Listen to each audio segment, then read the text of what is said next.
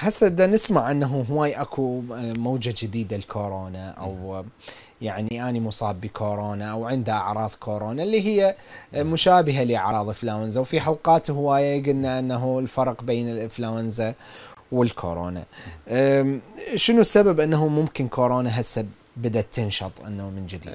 هو يعني موجات متعاقبة يعني آه، في بعض البلدان وصلت إلى ثمان موجات. آه، كأستراليا. هنا في العراق هذه يمكن الموجة السادسة ولكن آه، الحمد لله الموجة السابقة كانت حالة الوفيات نادرة وهذا الموجة كذلك الحمد لله حالة وفيات نادرة لأن يعني أغلب الناس أصيبوا به وأصبح لديهم مناعة والذين لم يصابوا أخذوا لقاحات جرعة أولى وجرعة ثانية وبعضهم جرعة ثالثة. لذلك آه، ننصح بالذين أعمارهم فوق الستين أو السبعين أو أعمارهم فوق الخمسين ولديهم أمراض مزمنة كالسكر والضغط وأمراض القلب أن يأخذوا آه، الذين لم يأخذوا الجرعة الأولى يأخذوا الجرعة الأولى وبعد ذلك الجرعة الثانية الذين يأخذوا الثانية يجب أن آه، وراء آه، بعد مضي ستة أشهر أن يأخذوا الجرعة الثالثة للوقاية لأن الفيروس كورونا موجود في المجتمعات وموجود في العالم وينتقل ولكن الحمد لله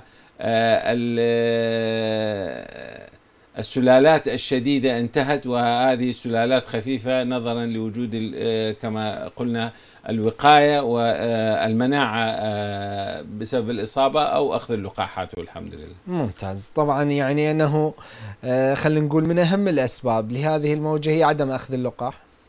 يمكن أن نقول ذلك نعم. طيب ويعني الموضوع مسيطر عليه الحمد لله يعني وفيات نادرة آه، الآن م. كما في الموجة السابقة. وكورونا لم ينتهي ولن ينتهي. آه، يعني, يعني تحول إلى إنفلونزا موسمية. يعني مثل موسمية. إنفلونزا الموسمية هنالك آه، كان نوع أي ونوع بي ونوع سي والآن يمكن أن نضيف الكوفيد 19 كإنفلونزا موسمية.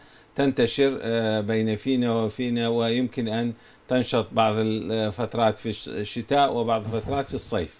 طيب دكتور آه، شلون ممكن نقلل هذا الموضوع بالكورونا؟ يعني أنه اللي اللي صار بي أو اللي راح يصير بي أو نفس الإجراءات قصدي نفس نفس الإجراءات واللقاحات يعني مهمة والتباعد آه، الاجتماعي وال يعني حتى الإنفلونزا العادية الشخص المصاب يجب أن آه، يستريح في البيت مدة ثلاثة إلى خمسة أيام لكي لا آه، يصيب الآخرين ويجب أن يعزل نفسه ولا يختلط بالمسنين وبالأطفال لأن آه، هؤلاء هم مجموعة الخطر التي يمكن أن يصابوا بشدة بهذه الأمراض الفيروسية مع الأسف.